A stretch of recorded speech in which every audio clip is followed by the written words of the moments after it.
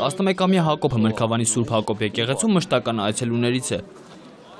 Որովհետև իմ մամն Սրբյանն է դրանով։ Սովորաբար երկու մոմ է վառում։ Մեկը պապի Հակոբ ավակի, մյուսն էլ իր համար։ Այս տարի հատուկ ուխտի է եկել։ Մարիաթոր Սուրբ Էշմիածնից Սուրբ Հակոբ եկեղեցի է բերվել Սրբի աչը։ 2001 թվականին 1700-ամյակի քրիստոնեական քրիստոնեության ընդունելության մայրաթորից գրգին անգամ Սուրբ Հակոբի աչը բերվեց Սուրբ Հակոբ եկեղեցի։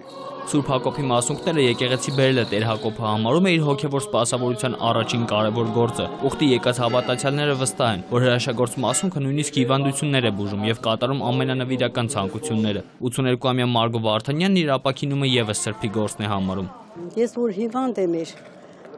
ինձ գիշերվա կեսին կանչում էին դրսից, կանչում էին։ Հետո ես ցեն տվին, ասեմ, ինչ ա եղել։ Ասես գիտես, գիտես որ պետք է գաս Սուրբ Հակոբը, այն առաջի մասում կավիճ են լողոզել իմ պատին։ Արի մաքրի, լավանալու ես, բայց գալու ես մաքրես։ Եկ իրեն մաքրիրեմ նրա հույսով էլ հավատք ունեմ ես։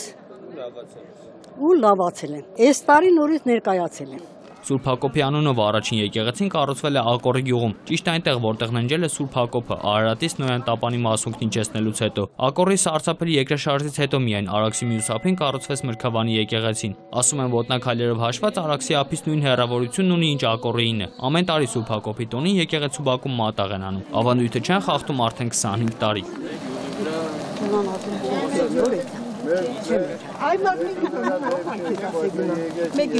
Սուրբ Հակոբի մասունքը եկեղեցում կմնա 1 օր եւ կվերադարձվի Էջմիածին։ Աղվան Ասյան Ալբերտ Գալստյան, ժամը լրատվական։